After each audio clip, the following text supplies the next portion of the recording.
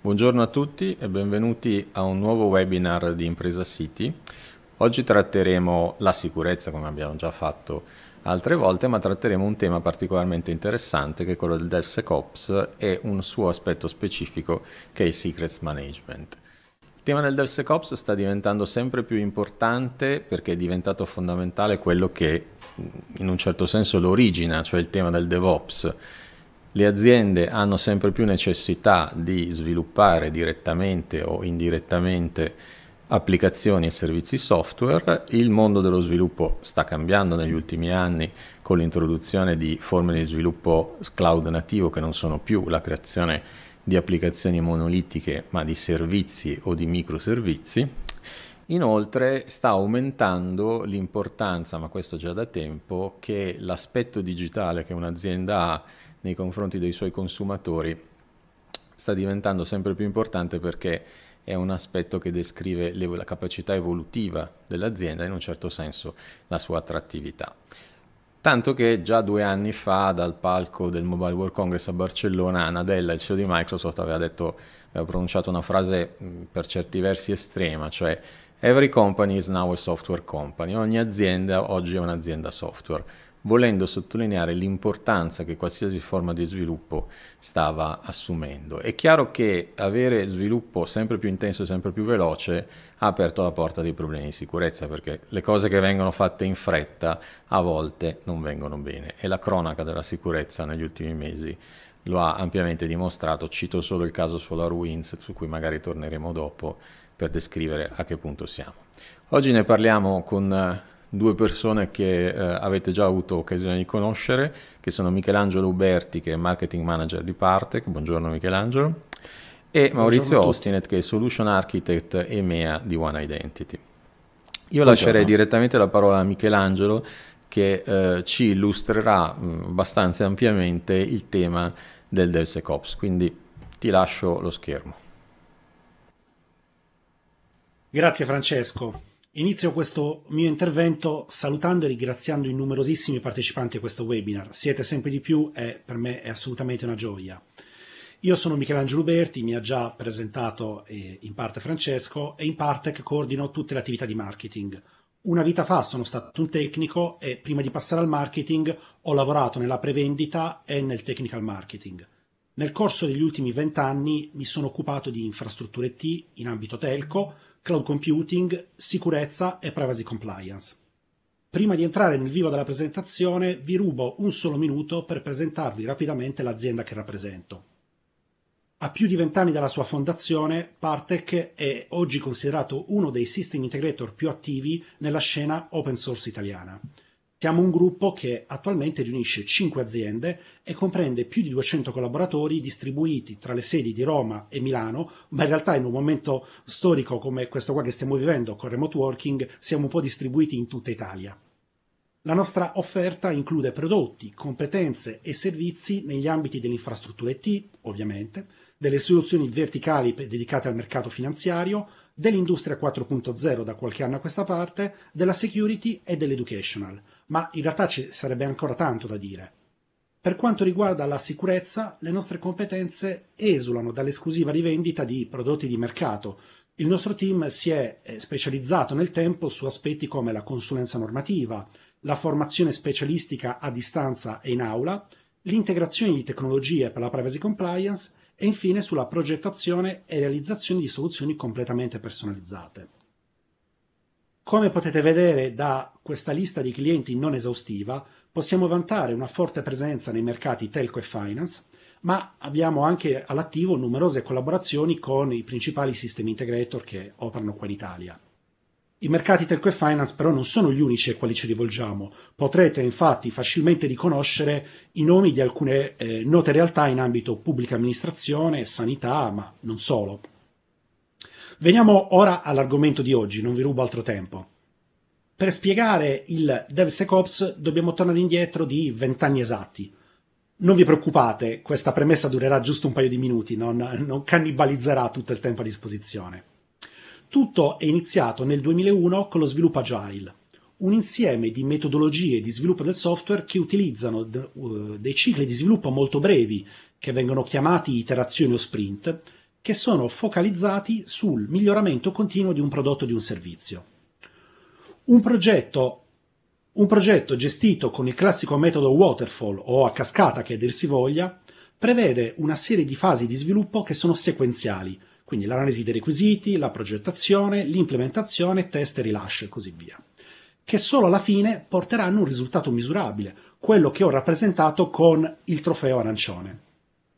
Come molti di voi avranno sperimentato sulla propria pelle, il rischio di arrivare alla fine con un oggetto imperfetto o che non risponda ai requisiti del cliente è molto alto. E, visto che oggi parliamo di sicurezza, la domanda che mi viene da fare è quando è che in questo ciclo viene, eh, vengono fatti i test di sicurezza? Beh, quando vengono fatti, cosa che non è per niente scontata, ve l'assicuro, sono spesso concentrati nella fase finale del progetto quindi se qualcosa va storto, siamo costretti a mettere delle, delle pezze assurde o in casi peggiori addirittura si accetta il rischio e si va in produzione lasciando tutto com'è. Eh, capita tutti i giorni e i risultati li vediamo anche sui, sui titoli dei giornali, no? Vediamo cosa cambia col metodo Agile. Prima ho usato il termine sprint, capiamo meglio di che si tratta è un piccolo progetto che non dura più di qualche settimana e che al suo interno contiene tutte le classiche fasi di sviluppo, lo vedete dai box colorati. Ogni iterazione ha come obiettivo introdurre un piccolo incremento nelle funzionalità del software. Questo incremento ci deve avvicinare gradualmente al soddisfacimento dei requisiti del cliente. Non a caso il trofeo l'ho rappresentato in un modo sempre più grande. Capite bene che in questo caso il rischio è molto inferiore, grazie ai mini rilasci e al confronto continuo che c'è tra gli sviluppatori, tra il team interno e il cliente, è più facile verificare l'avanzamento e correggere il tiro prima che sia troppo tardi. Questa rappresentazione con gli sprint potrebbe indurci a pensare che i test di sicurezza siano gestiti alla fine di ogni sprint. L'esperienza ci dice che in molti casi questo non avviene. Per qualche strano motivo vengono spesso lasciati alla fine del progetto cioè dopo l'ultimo sprint. Quindi alla fine della fiera a cosa è servito essere agili se un elemento così importante come i test di sicurezza sono stati lasciati alla fine? Dopo circa otto anni è arrivato il DevOps, un termine che nasce dalla contrattura delle parole development e operations, cioè sviluppo ed esercizio di un'applicazione è una metodologia di sviluppo del software che punta alla comunicazione, alla collaborazione e soprattutto all'integrazione tra sviluppatori e addetti alle operations. Il DevOps in, fondo vuole rispondere all'interdipendenza che c'è tra lo sviluppo del software e le operations, puntando di fatto a creare un'organizzazione eh, che sia più fluida e che aiuti a sviluppare in modo più rapido ed efficiente prodotti e servizi software. Per comprendere meglio questo nuovo paradigma, nuovo si fa per dire, ormai si parla di qualche anno fa, dobbiamo nuovamente tornare all'analisi dei cicli di sviluppo. Quel che salta immediatamente all'occhio è la rapidità con cui si passa da una fase all'altra e l'incredibile frequenza dei rilasci, anche e soprattutto grazie all'introduzione massiccia dell'automazione. Il DevOps è un approccio che consente di velocizzare il rilascio di nuove funzionalità per rispondere rapidamente alle esigenze del mercato e correggere eventuali errori nella... che sono stati rilasciati con la release precedente. A questo punto rifaccio nuovamente la solita domanda. I test di sicurezza dove stanno? Sono stati finalmente integrati nel ciclo di sviluppo?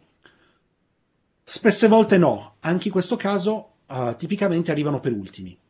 Molte aziende si limitano a fare i classici vulnerability assessment e penetration test e alcune manco quelli, fatemi dire, senza concentrarsi troppo sulla qualità del codice.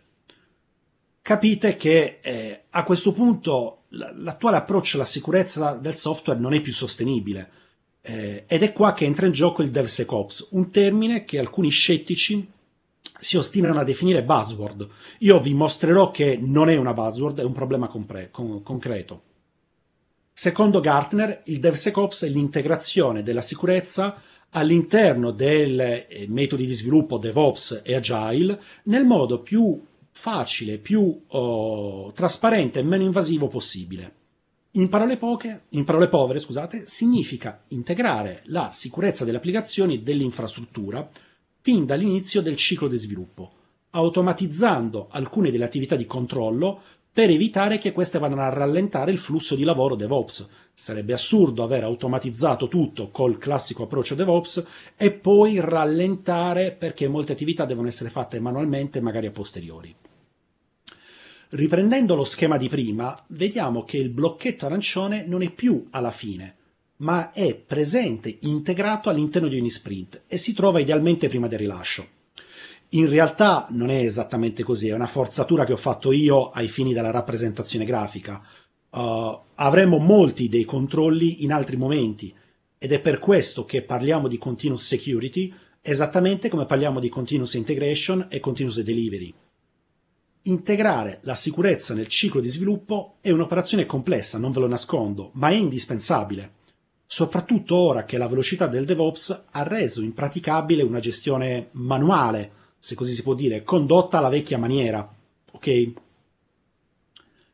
Nella transizione dall'approccio waterfall ad agile e DevOps, la revisione dei processi interni è sempre stata prioritaria rispetto all'adozione di nuovi strumenti.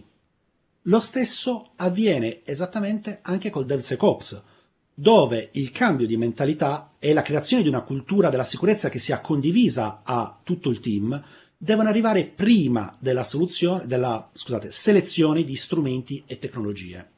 Vediamo insieme alcuni dei cambiamenti richiesti. Intanto è importante passare da una mentalità one time scan, tipicamente dopo lo sviluppo, a un processo di security assurance che sia continuo ed effettuato in ogni fase del ciclo di sviluppo. È inoltre necessario evitare che gli sviluppatori siano costretti ad abbandonare il loro ambiente di sviluppo, gli strumenti per il security testing devono essere integrati nell'idea di sviluppo e devono essere integrati anche con gli strumenti per la continuous integration e la continuous delivery. Questo perché ovviamente sarebbe complicato gestire qualcosa di sganciato dal nostro ambiente di lavoro. I test di sicurezza dovrebbero essere progettati per ridurre al minimo l'intervento degli analisti di sicurezza. La scansione e la risoluzione dei problemi devono quindi essere quanto più automatizzate e trasparenti possibili, questo proprio perché, come dicevamo, non devono rallentare il flusso di lavoro DevOps.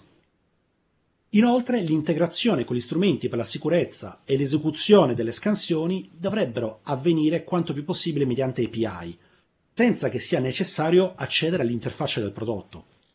Questo requisito è fondamentale perché abilita l'automazione Consente inoltre di verificare i test ed i risultati da un'unica console, evitando anche la, sovrappos- la sovrapposizione di ruoli e competenze tra il team di sviluppo e il team di security.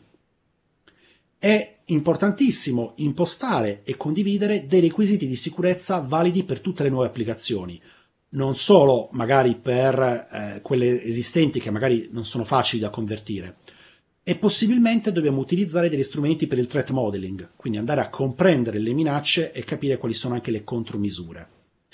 Infine, dobbiamo tracciare tutte le anomalie sul sistema di bug tracking già usato dagli, svilupp- dagli sviluppatori e possibilmente dobbiamo automatizzare anche questo processo per evitare che si aggiunga dell'overhead sulle attività che già fanno i nostri, i nostri sviluppatori. Gartner suddivide i passaggi e gli strumenti del DevSecOps in 10 categorie. Personalmente apprezzo molto questo schema perché aiuta a capire che stiamo parlando di un tema estremamente complesso e non di una semplice buzzword. In questa sessione non abbiamo la possibilità, non abbiamo il tempo di analizzarli tutti. Vorrei però mettere in evidenza che ogni tappa del percorso tratta degli aspetti che non sono risolvibili eh, semplicemente acquistando una tecnologia. Questo perché, lo ribadisco sempre, l'ho detto tante volte durante i miei interventi pubblici, la sicurezza è un processo e non un prodotto. Un altro aspetto sul quale vorrei farvi concentrare è che il risanamento del debito tecnico, eh, sul fronte della sicurezza ovviamente, rappresenta l'inizio e la fine del loop. Lo trovate nei box 1 e 10. Questo ribadisce l'importanza della formazione, un tema che a noi di parte è molto caro. Non a caso la nostra linea security eh, dell'offerta Partech Educational include dei corsi anche su secure coding e sull'ethical hacking, aspetti importantissimi per chi vuole andare ad affrontare le minacce eh, moderne. La domanda giusta da porsi è chi affronterà queste sfide di cui stiamo parlando. Allora, bisogna partire dal concetto che tutte le persone coinvolte nello sviluppo del software dovranno ricevere un'adeguata formazione, almeno sul fronte del secure coding. Non possiamo pensare che queste persone siano completamente sganciate dai temi della sicurezza. Come deve essere strutturato il percorso formativo? Beh, da una parte dovrebbe includere almeno una prima sessione in aula e poi sarebbe sensato prevedere anche una serie di aggiornamenti periodici. Focalizzati su cosa? Beh, intanto sulle più frequenti e importanti vulnerabilità che sono state riscontrate nell'analisi del codice scritto dal team stesso, così da correggere immediatamente eventuali carenze tecniche ed evitare che questi errori vengano reiterati ancora e ancora. Giustamente qualcuno, anche all'interno di parte, che mi ha detto ok, ma nonostante la formazione ricevuta, gli sviluppatori non diventeranno magicamente degli esperti di sicurezza e quindi dovranno essere supportati da una o più persone con competenze multidisciplinari, che di fatto agisca come consulente esperto e riesca anche ad anticipare potenziali problemi già durante la fase di progettazione. Questa figura è chiamata Security Champion. Scopriamo insieme l'identikit di questo, di questo nuovo eroe che deve aiutarci a proteggere le nostre applicazioni. Intanto si tratta di un membro esperto del team di sviluppo, che ha mostrato un forte interesse, una forte attitudine per la sicurezza delle applicazioni ed è stato quindi selezionato per svolgere un ulteriore percorso formativo, molto molto più intenso di quello del generico sviluppatore. Questa figura è molto importante perché rappresenta un fondamentale punto di contatto tra i team dev, ops e di sicurezza. Eh, perché? Perché deve essere capace di fornire consigli immediati e aiutare gli sviluppatori, gli sviluppatori ad applicare immediatamente dei correttivi, senza eventualmente attendere l'esito dei test automatizzati. L'OWASP, cioè l'Open Web Application Security Project, ha creato il DevSecOps Maturity Model, un modello che definisce quattro livelli di maturità per le pratiche DevSecOps. Quello che vedete è un diagramma eh, relativo a un progetto specifico. Al primo livello trovate una, la comprensione base delle pratiche di sicurezza, che è diciamo, il minimo indispensabile per chi deve affrontare questo discorso. A livello successivo troviamo l'adozione base di queste pratiche e via via andiamo verso un elevato grado di adozione e infine un'applicazione su larga scala.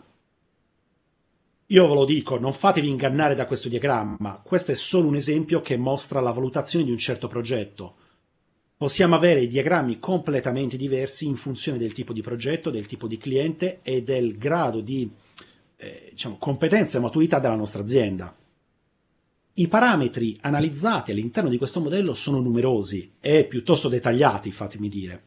Io vi riporto alcuni dei principali criteri di valutazione. Abbiamo la copertura statica del codice eh, eseguito all'interno della nostra pipeline di continuous integration, la copertura dinamica del codice, poi vedremo cosa si intende, la frequenza di analisi del codice all'interno della pipeline e infine la completezza del processo di remediation di cosa delle anomalie che abbiamo riscontrato durante la fase di test. Considerate che per un'organizzazione che non applica tali pratiche di sicurezza, anche il solo raggiungimento del livello 1 può rivelarsi piuttosto impegnativo, non è banalissimo. Per il passaggio al livello 2 invece possiamo prevedere almeno dai 6 ai 12 mesi di affinamento costante, partendo ovviamente dal livello 1. Per i livelli successivi invece non è possibile fare delle stime a priori, tutto dipende dall'organizzazione aziendale, dal numero di risorse coinvolte, dalla tipologia e quantità di progetti gestiti, quindi le variabili sono veramente tante. Non è nemmeno così scontato che un'azienda raggiunga ad esempio il livello 4, è un tipo di valutazione che va fatta. Poco fa ho parlato di copertura statica e dinamica del codice. Prima di vedere cosa si tratta, eh, è mio dovere precisare che eh, non si tratta di cose assolutamente inedite che nascono assieme al DevSecOps. Alcuni di questi controlli erano già stati affrontati in ambito uh, quality assurance, quindi chi già segue queste pratiche all'interno dell'azienda probabilmente le troverà anche un po' scontate. Meglio così, vuol dire che il livello 1 è molto più vicino. La copertura statica comprende una serie di analisi che sono anche in parte gestibili mediante piattaforme come GitHub e GitLab. Si parte con la scansione dei secrets e la gestione di questi secrets, cioè la ricerca e la gestione di credenziali, chiavi private, token eh, di accesso, eccetera, che potrebbero essere sfruttate per eh, andare a violare i nostri sistemi. Questo è un tema molto caldo, recentemente ci sono stati diversi casi importanti, eh, però è un tema che verrà affrontato tra poco da Maurizio Ostinet, quindi non vi, non vi anticipo altro. Ci sono poi gli strumenti per la software composition analysis, cioè per la verifica delle dipendenze e il supporto al patching di tutte le componenti, anche e soprattutto quelle open source che sono incluse nell'applicazione. Questo è un problema importante perché a volte eh, l'applicazione di per sé non ha dei bug, ma alcuni framework, librerie che utilizza invece sì, e questi possono essere uh, utilizzati per scopi malevoli. C'è poi il tema della uh, Static Application Security Testing, cioè la ricerca di vulnerabilità note come le famosissime CVE o eventuali errori di programmazione all'interno del codice sorgente. Mediante altri strumenti come eh, GitHub Actions e Zaproxy è possibile eseguire anche l'analisi dinamica del codice, cioè la ricerca delle vulnerabilità note, come le CVE di cui abbiamo già parlato, di un'applicazione che è in esecuzione stavolta, quindi non è, eh, come si dice, a bocce ferme, è in esecuzione sul server.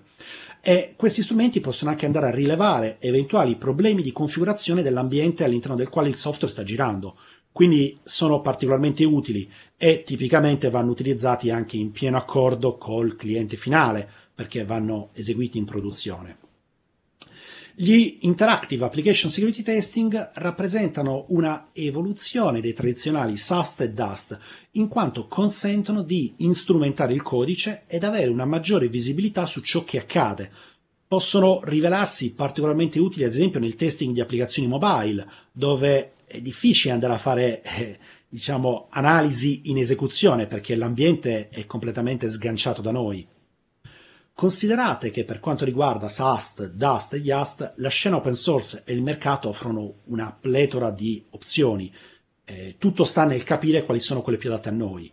Quindi la priorità del reparto IT è impostare dei processi che siano coerenti con il modello di ISOM e andare a individuare le tecnologie prodotti on-premise, eh, software as a service, progetti open source, che siano più adatti al nostro team di sviluppo e alle proprie eh, pipeline CI/CD, perché ovviamente il, l'approccio può essere diverso uh, a seconda dell'azienda e quindi bisogna trovare quello che si adatta meglio alle nostre esigenze. Io a questo punto ripasso la parola a Francesco e vi ringrazio per l'attenzione. Grazie Michelangelo. Eh, io a questo punto faccio una roba veloce, cioè passo la palla invece al pubblico perché dopo questa introduzione abbastanza approfondita, ovviamente non esaustiva su DevSecOps, sul quale potremmo dire veramente tanto, vogliamo cercare di capire a che punto siete voi, non necessariamente nella strada del modello formalizzato che ha presentato Michelangelo, ma cercare di capire come state affrontando il problema dei test di sicurezza nello sviluppo software.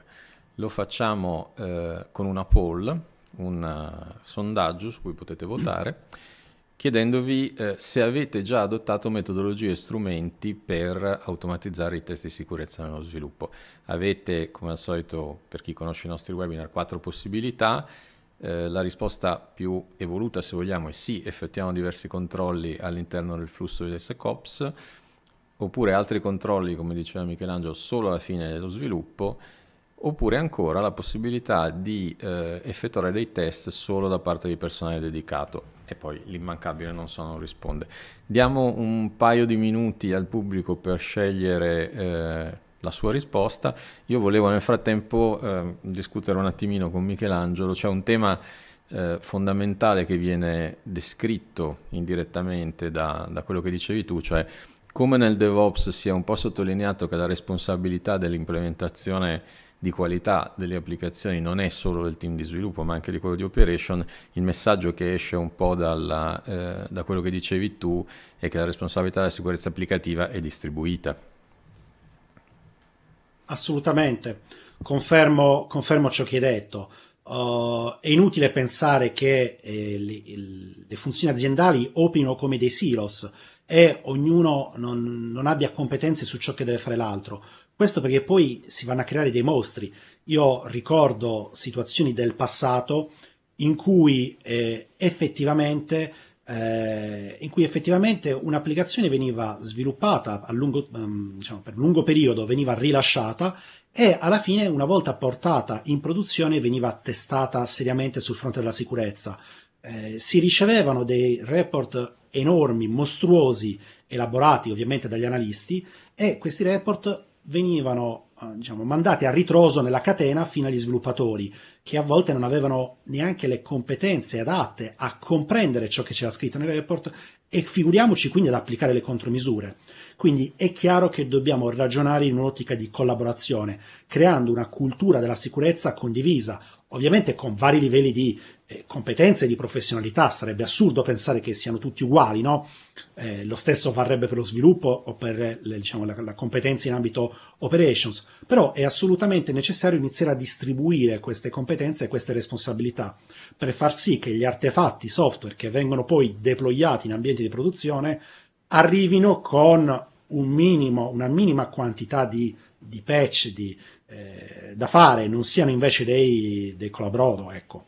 Quindi questo, questo è un aspetto molto importante sicuramente. Grazie, nel frattempo abbiamo ricevuto un po' di risposte e io direi che ci, ci fermiamo per quanto riguarda la votazione e i risultati sono abbastanza prevedibili se vogliamo. Tu cosa dici Michelangelo? Vince ma di poco il, il no sostanzialmente, senza senza una struttura decisa e definita dei test software, quindi c'è ampio spazio di miglioramento, diciamo così. Anche se, il, 15, anche se il 15% o quasi che ha già dei controlli nel flusso è consolante. Guarda, è probabile che eh, chi, eh, chi, ha risposto col, uh, dicendo sì, lo, fa, lo, facciamo già nel flusso DevOps, ha già del, dei team dedicati alla quality assurance o usa già piattaforme, ad esempio, come dicevo, GitHub e GitLab, e, e, che gli facilita nella scansione, ad esempio, delle CVE, nella risoluzione dei bug, nella, nella, nell'aggiornamento, nel patching dei framework uh, esterni di terze parti e così via.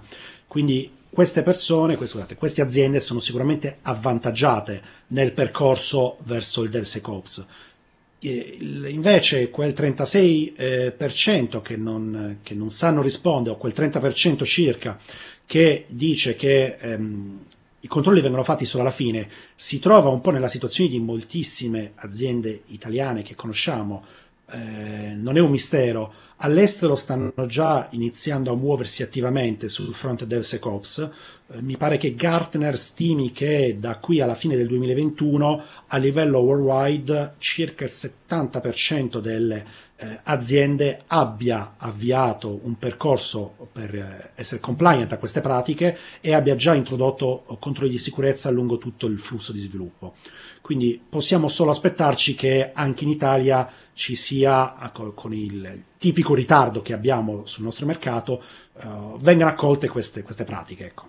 Sì, anche perché il, tu hai iniziato a citare alcune cifre degli analisti, le previsioni del mercato sono assolutamente di crescita, nel senso che anche per quello che è successo durante la pandemia, durante i lockdown, le aziende hanno sempre più bisogno di digitalizzazione.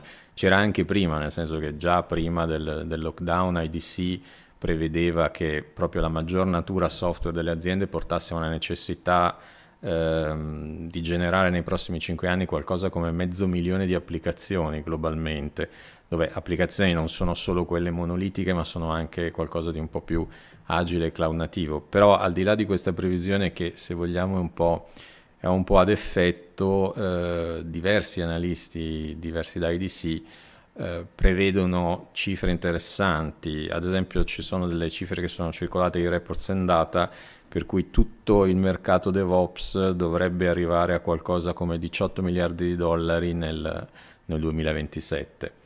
Uh, eh, a cavallo del 19-2020 altre cifre di Research and Markets parlano di una crescita di questo settore di quasi il 30% e comunque una crescita costante eh, del 20-25% a seconda degli analisti anno su anno.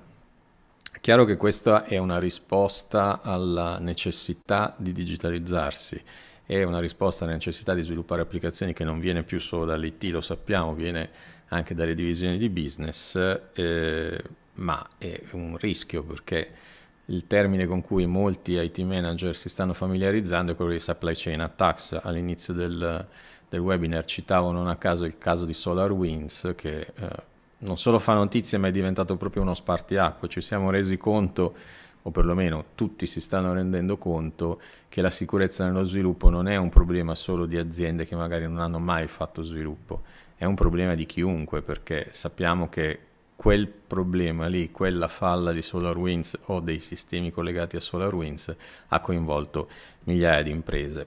Perché? Perché lo sviluppo è diventato estremamente complicato e articolato, in particolare per il numero di strumenti e di servizi che si utilizzano per, per lo sviluppo e per l'implementazione delle applicazioni. Questo ci porta al tema che eh, invece affronterà One Identity e quindi parlerei di secret management proprio con Maurizio, a cui passo volentieri la parola. Grazie Francesco. Ecco qui, ok. Buongiorno a tutti e benvenuti. E direi iniziamo subito con uh, un cenno su, uh, su, One Identity, su chi è One Identity. Eh, One Identity è un, è un uh, operatore globale sul mercato YAM ehm, al 100% di proprietà del gruppo Quest. E in origine eravamo parte di, di Quest e da circa quattro anni siamo una legal entity separata eh, per lavorare sul mercato dell'identity access management con un portafoglio d'offerta eh, che è basato sostanzialmente su una piattaforma integrata di identity security che, eh, che, comprende le componenti che in questo momento sono oh, maggiormente rilevanti sul mercato e che vedete eh, qui rappresentate nella slide. E mi riferisco in particolare all'identity governance e administration, dove sono inclusi eh, processi come joiner mover levers, segregation of duties, campagne di certificazione, di gestione del mondo uh, Active Directory attraverso uno strumento che realizza un vero e proprio uh, firewall attorno, attorno all'Active Directory. E di PAM, dove eh, il nostro approccio è basato su Safeguard, una soluzione di, uh, di vaulting di tipo black box, eh, con la quale forniamo password management, session management, analytics e che è eh, alla base ehm, del tema di cui parleremo, di cui parleremo oggi. Essenzialmente noi vediamo la sicurezza eh, strettamente legata eh, alle identità e, e, per il raggiungimento di questo obiettivo riteniamo servano elementi di PAM, elementi di governance e l'aspetto chiave per ottenere la governance è l'ownership dei processi e quindi fondamentalmente entrano in gioco le persone, i processi e la tecnologia. Parliamo ora di DevOps. Come eh, Michelangelo eh, ci, ci, raccontava prima, DevOps è, è una metodologia di sviluppo eh, del software che è basata sulla, sulla, comunicazione, sulla collaborazione tra i team di sviluppo e di operation. E DevOps è fondamentalmente costituito da, da pipelines che devono tenere il passo con le richieste e eh, i requisiti sempre più stringenti dei clienti in termini di rilasci delle applicazioni, un po' come eh, ne faceva cenno eh, all'inizio eh, del webinar eh, Francesco. E infatti l'aspettativa delle persone è sempre più quella di avere disponibili le proprie eh, applicazioni preferite che includono le ultime funzionalità sempre più, uh, sempre più, velocemente. Se pensiamo allo svolgimento delle fasi che sono rappresentate in questo, in questo diagramma, eh, con l'obiettivo di, di, di rilasciare eh, ai clienti le, le, ultime novità nel, nel, più breve tempo possibile, l'interazione tra i team di sviluppo e operation si caratterizza in termini di velocità, velocità e automazione. Tipicamente abilitando oh, comunicazioni tra applicazioni, rendendo i processi eh, ripetibili e, e, andando a, a eh, tipicamente eliminare eh, gli, gli, errori che sono legati all'azione umana. Quindi è fondamentalmente un esercizio di velocità. Questo approccio eh, basato su, su, pratiche e strategie che coinvolgono nuove tecnologie e nuovi processi richiede l'adozione di, di misure eh, di, di, sicurezza in, in eh, svariati ambiti eh, del DevOps. Ad esempio occorre eh, proteggere eh, repository o aree di storage o le comunicazioni tra, ehm, tra microservizi e eh, parlando di, di, sicurezza vediamo in particolare i concetti di secrets e di, e di PAM. Le, le esigenze di, di, sicurezza a cui ci riferiamo implicano la limitazione dell'accesso alle risorse e il, il, controllo dell'accesso richiede un processo di autenticazione che tipicamente viene eseguito tramite, eh, tramite secrets. Il possesso di un secret autentica il richiedente come eh, attendibile. Un secret potrebbe essere una, una password, uh, una chiave privata piuttosto che, che un token. L'autenticazione tramite il possesso di un secret nell'ambito DevOps è caratterizzata dal fatto che il richiedente è tipicamente un processo automatizzato piuttosto che un essere umano e come abbiamo visto la velocità è un aspetto critico e fondamentale. Di conseguenza i requisiti che derivano da, da questi scenari non consentono di attendere eh, il completamento di un workflow di approvazione manuale tipico del mondo PAM eh, tradizionale per ottenere, eh, per ottenere un secret. Il modo più semplice per automatizzare un processo DevOps è usare eh, secrets eh, incorporati all'interno del codice.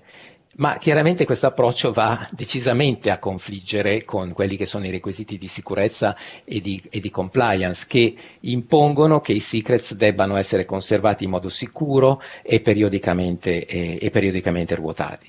Il secret deve essere consegnato al processo automatizzato che ne ha necessità, sia che si tratti di un sistema di, di compilazione, di un orchestrator o di uno, o di uno script. Oltre a questi problemi rimane la percezione da parte del, del, security team che gli sviluppatori introdu- introducano rischi significativi nella gestione DevOps. Infatti le, le modalità che sono eh, utilizzate nelle attività di sviluppo del software cambiano ed evolvono molto rapidamente e tipicamente gli sviluppatori amano utilizzare le tecnologie più nuove e, e, e accattivanti. Quindi è facile che si generino situazioni diciamo, di attrito tra i team uh, di sviluppo e, e, di operation. E qui entra in gioco Safeguard, che, che è stato uh, disegnato per, per, integrarsi con uh, qualsiasi sistema on-premise, in cloud o in ambito um, eh, DevOps o, o, RPA per i quali è disponibile un set di API costruito per essere utilizzato eh, specificamente da un processo eh, automatizzato piuttosto che da un, che da un umano. E Safeguard è stato oh, pensato e creato secondo un approccio API first, che significa la eh, la capacità di esporre un ampio set di, di API REST per rendere disponibili tutte le funzioni che sono eseguibili dall'interfaccia utente, in modo da rendere eh, facile lo sviluppo delle integrazioni di tipo uh, application to application. È possibile applicare le logiche di eh, identity governance per garantire che non solo le policy e le regole in ambito PAM siano quelle effettivamente necessarie, ma eh, anche attestare l'effettiva eh, diciamo, assegnazione di quelli che sono i secrets alle identità eh, in funzione del loro ruolo all'interno dell'organizzazione. È possibile abilitare il monitoring e la registrazione di una sessione per indirizzare ad esempio esigenze di compliance. Potrebbe essere eh, in questo senso abilitato il monitoring e, e la registrazione dell'attività di uno sviluppatore eh, in ambito RPA che ha il potere di gestire allo stesso tempo robot che svolgono attività critiche e che sono in conflitto oh, tra, tra di loro. Eh, gli utenti umani che devono accedere ai sistemi possono continuare ad utilizzare i loro strumenti, per esempio il, il classico client party per, per SSH, senza vedere eh, impattata eh, quella che è la loro uh, operatività.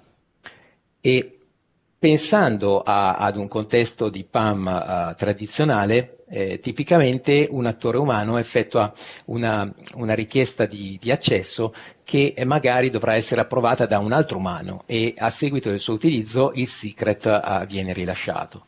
Questo processo uh, non è sufficientemente veloce pensiamo appunto alla, al discorso di prima sui concetti di automazione e di velocità, non è sufficientemente veloce per funzionare in un ambiente DevOps.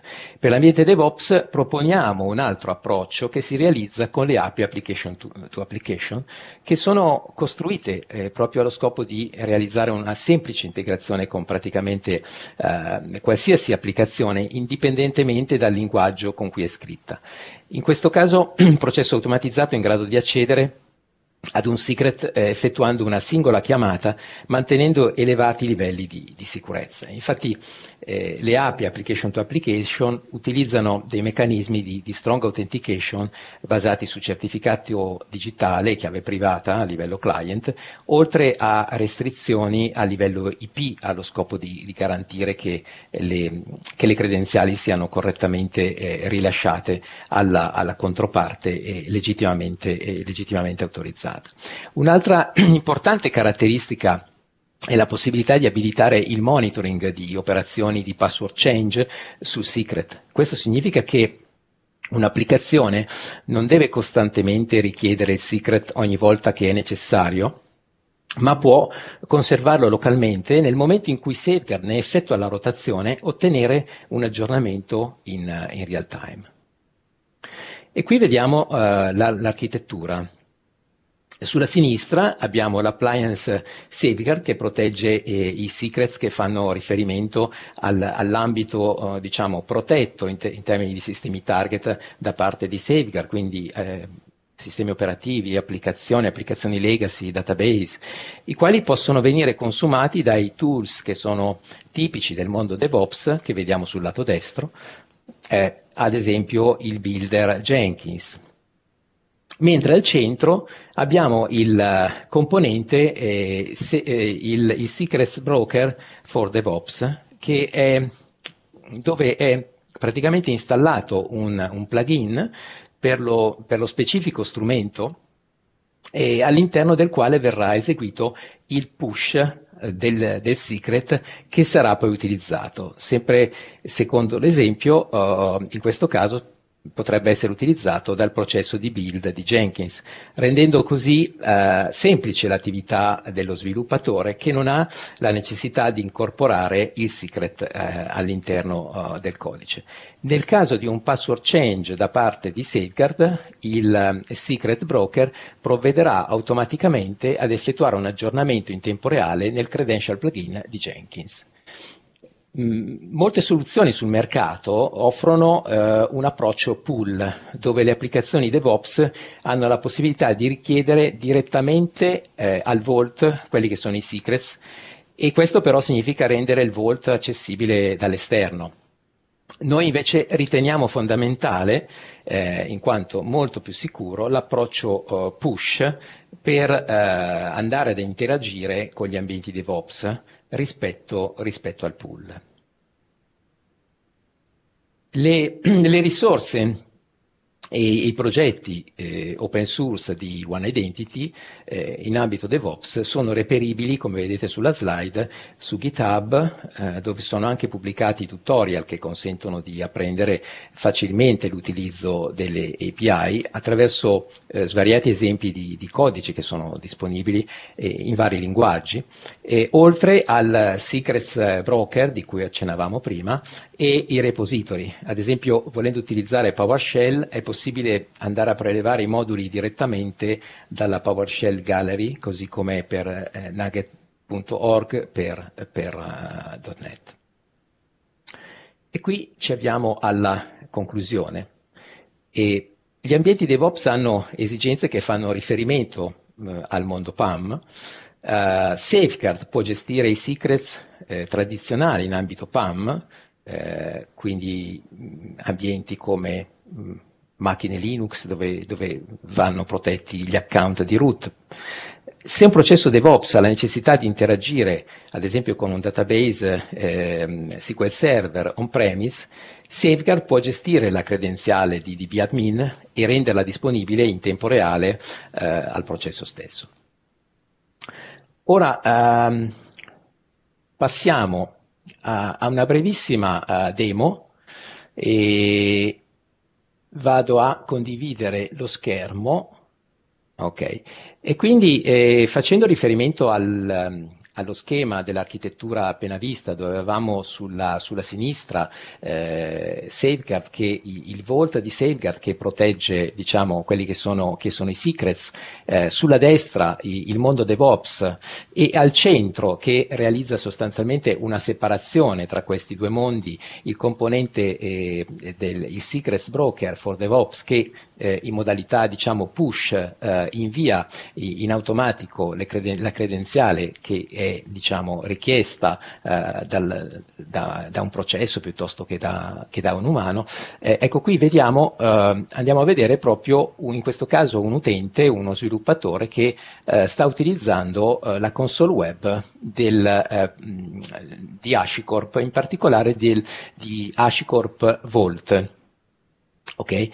E eh, ha la necessità, come accennavo prima, ad esempio di andare a prelevare una credenziale eh, che sta, eh, ad esempio, che è un account su un, uh, un, un SQL Server, okay? vedete intanto che eh, uh, visualizza la, la, tramite la console del Vault di, di, di HashiCorp viene visualizzata uh, quella che è la credenziale, quella che è la password, quindi lo sviluppatore ha la possibilità di copiarla e incollarla da qualche parte. Vedete anche che c'è eh, qui una history eh, di quelle che sono le password che sono state eh, evidentemente cambiate eh, nel corso, del, eh, nel corso del, del tempo, in un momento diciamo iniziale, e quindi l'utente va a copiarsi diciamo, la password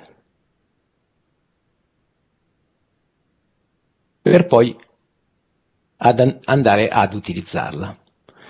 Adesso vediamo che in un momento successivo eh, Safeguard, quindi pensando all'architettura alla parte sinistra, va eh, attraverso un, un amministratore eh, va a effettuare un change eh, di quella che è la password eh, di, quella, di quell'account, era appunto dbuser2. E quindi viene effettuato un change che potrebbe essere appunto come in questo caso manuale piuttosto che schedulato da Safeguard.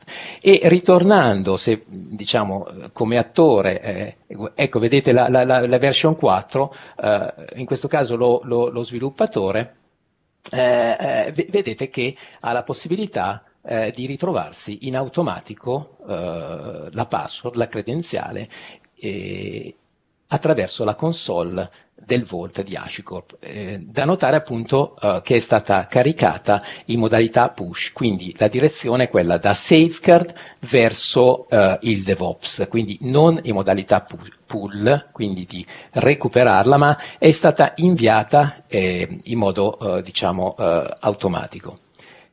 Questo è la, la, web application della, che, che, gestisce sostanzialmente il plugin del secret del Secrets Broker for DevOps. Quindi questa è la web application con, con la quale eh, un amministratore di Safeguard ha la possibilità di configurare e gestire la comunicazione del Secrets Broker, vi ricordo il componente che avevamo al centro della, di quello schema di, in termini di architettura, che eh, eh, abilita appunto la comunicazione, vedete in questo caso è attivo il, il plugin di HashiCorp Vault, però è possibile eh, attivare altri plugin, abbiamo dei plugin che sono già disponibili per eh, svariate tecnologie, piuttosto che è possibile eh, sviluppare il, un, uno plugin eh, ad hoc per una tecnologia eh, che, diciamo, che, che, di cui è, è necessario. Eh, direi che eh, la demo fondamentalmente è terminata, io vado a chiudere la condivisione dello schermo e ripasso la parola a Francesco. Grazie Maurizio. Eh, io come prima ripasso la parola al pubblico, nel senso che Mi piace ricordare un po' umoristicamente una frase di Totò che oggi non si potrebbe neanche tanto dire perché non è politically correct. La serva serve. Allora noi vi chiediamo, dopo tutto quello che vi abbiamo raccontato, se ritenete e quanto che approcci come DevSecOps, eh, l'adozione di strumenti automatizzati per la gestione dei test di sicurezza e in generale per lo sviluppo eh, moderno vi possono essere d'aiuto. Eh, avete quattro possibilità che sono due gradazioni di sì e una drastica gradazione di no, Inol- insieme al solito non so, non risponde. Mentre diamo eh, come al solito qualche minuto al, al pubblico per, per, dare la sua opinione, come prima volevo trarre un po' un succo, una, una parola chiave, un qualcosa dal, dall'intervento di Maurizio e mi sembra di poter dire qualcosa come frictionless, cioè eh, tutto ciò che è DevOps se non ostacola il lavoro degli sviluppatori a cui si sono abituati, gli strumenti con cui si sono abituati e che preferiscono usare è molto meglio, mentre invece introdurre soluzioni che eh, cambierebbero drasticamente il loro modo di lavorare è un ottimo modo probabilmente per non diffondere un approccio come DevSecOps. Tu Maurizio cosa ne pensi? Sì, assolutamente, direi che, direi che effettivamente è proprio, è proprio così e eh, direi che, ehm, eh, che è proprio il, questo è proprio l'approccio che ci, eh, dire, che ci, caratterizza. In questo caso appunto andiamo ad abilitare, come dici tu, una, una, modalità frictionless, quindi andiamo ad attenuare tutti quelli che sono i possibili eh, attriti che derivano appunto da una, in qualche modo da una atteggiamento di, anche di, di, prevenzione da un punto di vista culturale di chi si occupa di security rispetto a chi eh, si occupa di, di, sviluppo. E questo riusciamo a farlo eh, grazie a, questo, oh, a quest'idea uh, di, ehm, di, non andare a, a, sostituire quelli che sono gli strumenti eh, tipicamente eh, utilizzati, ma eh, di andare eh, fondamentalmente a in, integrarci, di abilitare delle integrazioni. Infatti, come abbiamo visto, appena visto nella demo, eh, abbiamo visto un'interazione di uno sviluppatore che utilizza la console web del, della soluzione eh, di Volt, di fatto è un Volt di, di HashiCorp, noi, con i quali noi abbiamo un, un'integrazione. Quindi l'idea è, eh, diciamo, in funzione del contesto del, del cliente, eh, il cliente può continuare a utilizzare la tecnologia, quindi il client che usa, i processi che usa. Noi sostanzialmente ci integriamo, non andiamo a sostituire e fondamentalmente andiamo ad aggiungere valore. Questa è un po', questa è un po l'idea. Bene, io uh, stoppo il televoto perché mi sembra che le percentuali siano già abbastanza stabili. Non so voi, ma a me quello 0% sul C piace tanto, nel senso che dimostra che tutti comunque un qualche cosa eh, di DevSecOps lo hanno apprezzato. Ed è anche Io ho un problema, scusa, di visualizzazione del browser, Francesca, abbi pazienza, mi dovresti dire perché non so perché questa immagine non riesco, non riesco a vedere nulla.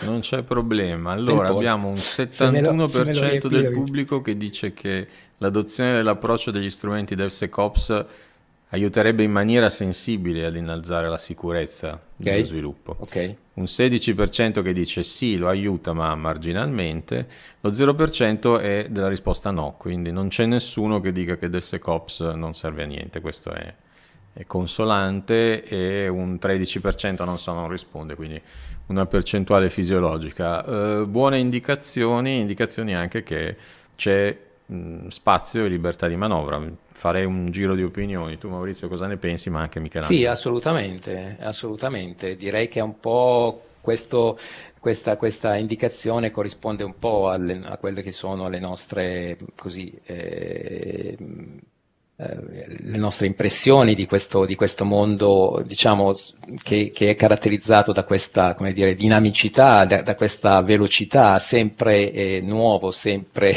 sempre, di corsa, che però appunto ha, ha l'esigenza comunque di eh, mantenere dei livelli di, mm. eh, di, sicurezza elevati. Quindi assolutamente è un'indicazione che eh, comunque c'è una diciamo, sensibilità eh, rispetto al problema e ci sono cose da fare.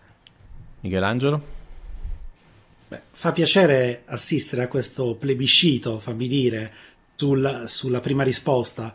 Eh, questo perché intanto siamo riusciti a trasmettere che il DevSecOps non è una buzzword, come alcuni dicevano, è, è un problema concreto e può offrire, se applicato correttamente, può offrire dei vantaggi enormi per chi deve andare a sviluppare ed esercitare il software, sia che questo sia fatto per scopi interni, sia quando questo viene fatto per conto terzi, quindi quando andiamo a sviluppare del codice che poi verrà rilasciato al cliente che a sua volta lo userà per offrire servizi alla, alla sua utenza finale. Quindi questo è un dato estremamente interessante ci fa piacere essere parte di questo percorso.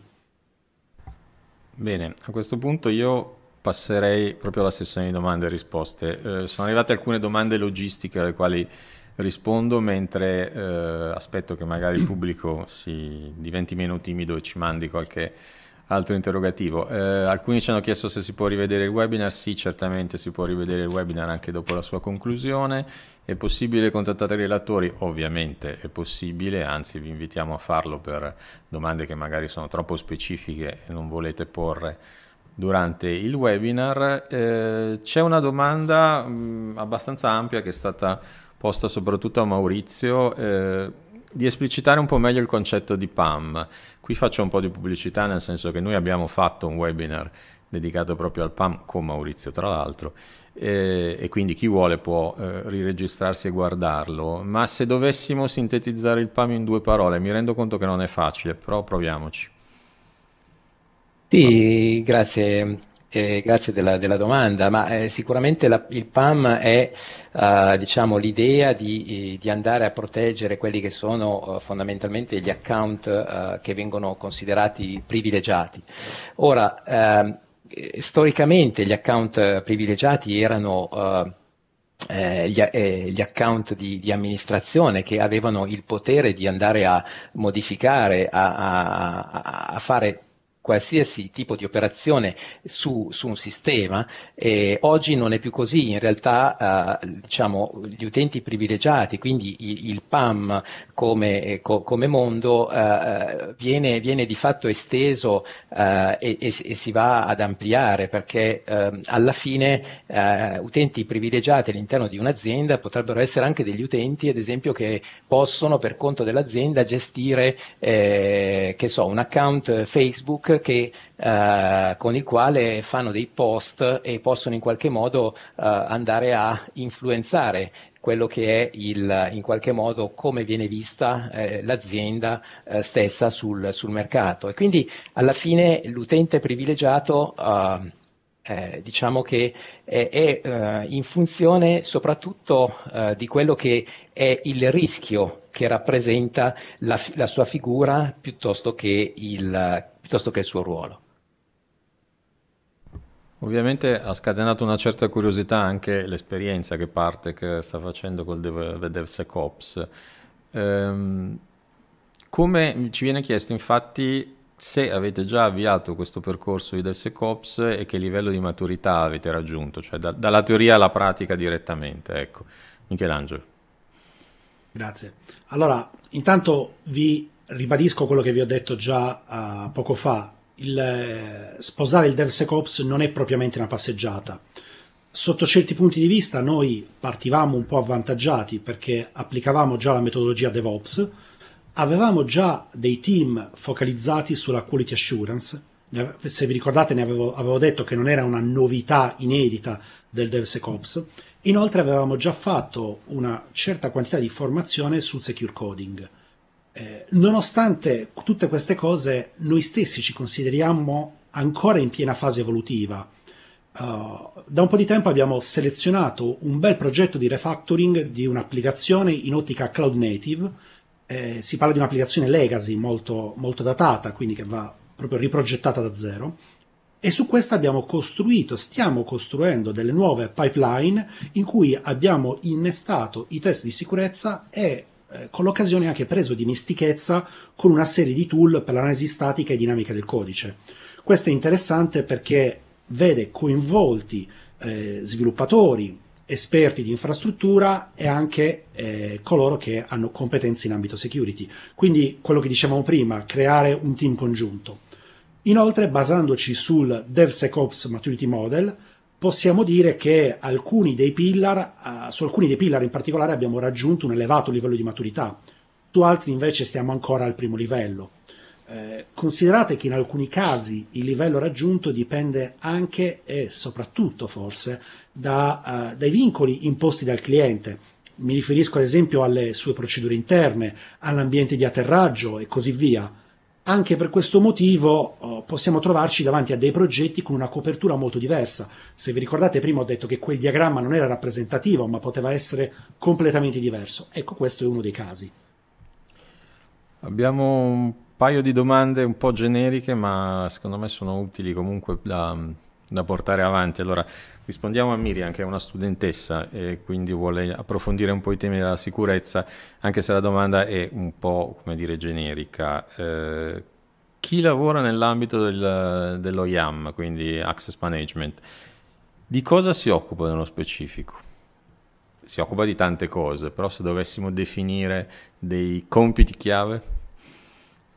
Beh, diciamo che tipicamente, esatto, come dici tu, ci sono, ci sono tante cose, ma ehm, come accennavo prima, nell'ambito YAM eh, in particolare eh, noi vediamo oh, diciamo, processi che fanno riferimento a, a, ad esempio a scenari di joiner, mover, leaders, quindi situazioni in cui una, una, una persona eh, viene diciamo, assunta all'interno dell'azienda e da lì occorre creare tutta una serie di, di account, di abilitazioni per quella persona perché possa accedere a, ai vari sistemi, piuttosto che la situazione in cui la persona che, che sta lavorando all'interno dell'azienda viene uh, diciamo, uh, in qualche modo a cambiare ruolo e quindi andrà a, a dovranno essere rimosse alcune abilitazioni e eventualmente aggiunte delle altre, piuttosto che nella situazione anche in cui una persona lascia l'azienda, tutte, queste sono tutte problematiche che vanno diciamo, gestite. Noi abbiamo, abbiamo delle soluzioni eh, come l'identity manager nell'ambito della, de, sul, tema, eh, sul, tema, dell'identity governance che eh, hanno proprio l'obiettivo di gestire, di gestire, questi processi, ad esempio il fatto di un dipendente che lascia, uh, che lascia l'azienda e quindi che va, diciamo, occorre procedere a tutta una serie di eh, disabilitazioni di quelli che sono uh, gli, gli accessi a maggior ragione pensando al rischio che è coinvolto nel, uh, nel, uh, diciamo, nell'andare a gestire delle figure che sono esterne, che sono sempre più, diciamo, comunque, eh, fanno sempre comunque più parte di quello che è l'ambito del, dell'azienda dove il rischio magari sarà anche più, uh, più elevato, piuttosto che andare su, uh, a gestire processi eh, che sono magari più evoluti, quindi imporre delle policy, delle regole, ad esempio di segregation of duties, dove, uh, dove vengono introdotte appunto delle logiche di governance che impediscono che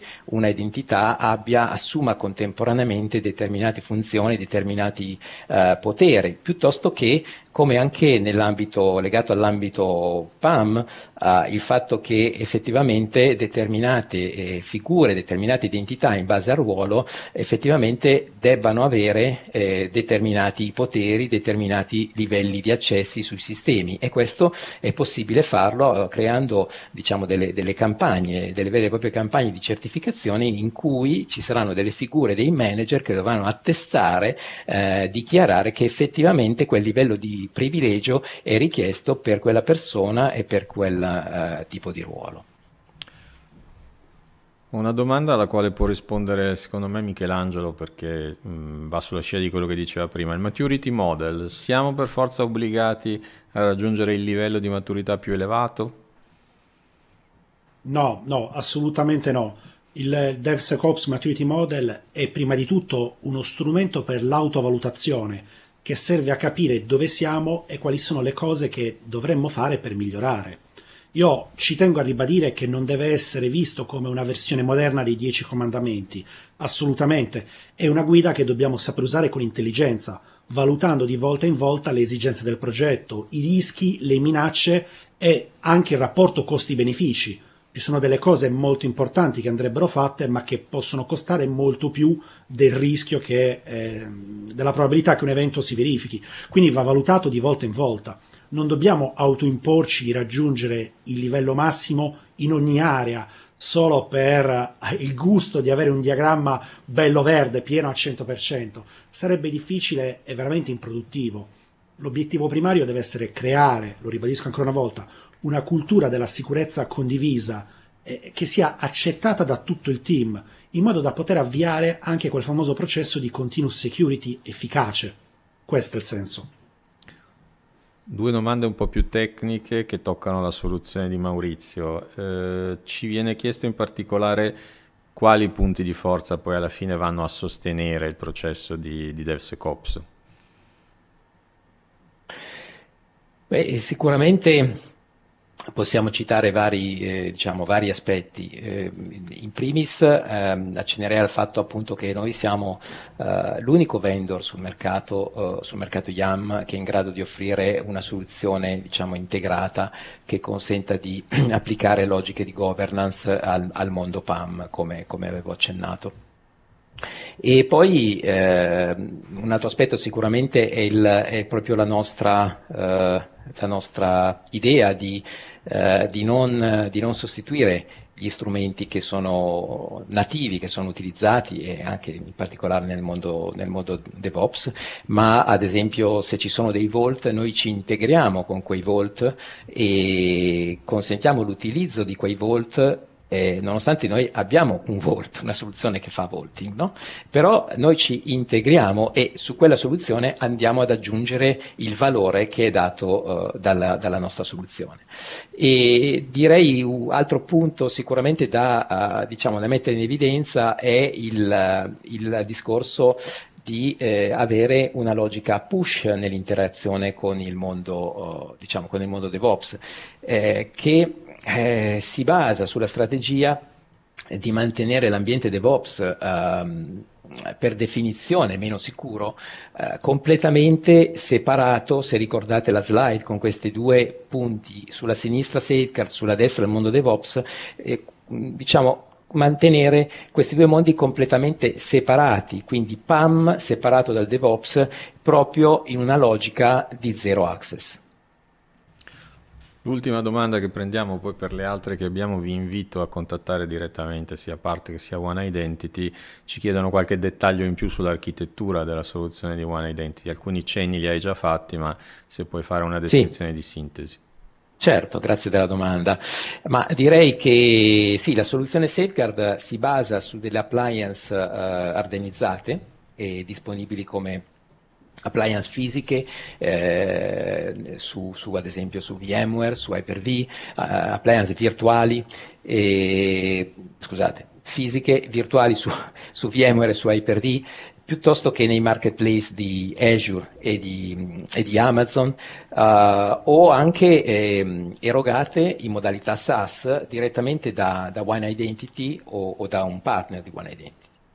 E e per, per, diciamo, per, soddisfare quelli che sono i requisiti classici in un contesto enterprise è, è possibile andare a, a configurare eh, le istanze in cluster, abilitando quindi eh, alta affidabilità e, e, e, load balancing e proprio per eh, garantire i, i, massimi livelli di sicurezza e di, di disponibilità il numero eh, minimo di, di appliance eh, in un cluster è di tre istanze contemporaneamente attive. E l'approccio uh, basato su appliance uh, presenta svariati vantaggi rispetto a soluzioni PAM che, che prevedono uh, l'installazione, ehm, l'installazione, di software. Ma sicuramente in termini di, di effort che è richiesto per l'approntamento del, dell'infrastruttura, di fatto veramente è molto, molto limitato, eh, nel senso che non c'è da installare nulla, c'è da fare il setup e poi chiaramente andare a definire delle, delle policy. E in termini anche di, di, manutenzione e di aggiornamento dell'appliance stessa, eh, ad esempio per un aggiornamento è sufficiente effettuare l'upload di un file e non, soprattutto non ci si deve diciamo, andare a preoccupare di gestire eh, eventuali aggiornamenti del sistema operativo che sta, che sta sotto. E, e, anche in termini di, diciamo, di vantaggi, che, sono, che, vengono dalle caratteristiche di eh, modularità della soluzione, che è possibile comporre eh, proprio come dei, dei, blocchettini, mettere assieme e adeguare eh, piuttosto semplicemente quindi aggiungere un appliance da una parte piuttosto che dall'altra in funzione di quelle che sono le nuove esigenze eh, diciamo, dell'infrastruttura da, da gestire. Bene, grazie Maurizio. Io a questo punto arriverei in chiusura, abbiamo sforato ma non tanto, però non, non, voglio impedire agli spettatori di andare verso una meritata pausa pranzo. Eh, ringrazio Maurizio, ringrazio Michelangelo per la partecipazione, ringrazio soprattutto chi ci ha seguito in questa oretta abbondante di eh, approfondimento di una tematica che in realtà richiederebbe molto più tempo, ma speriamo di aver fatto una sintesi interessante e quindi posso solo salutarvi e darvi appuntamento al nostro prossimo webinar. Grazie e buona giornata.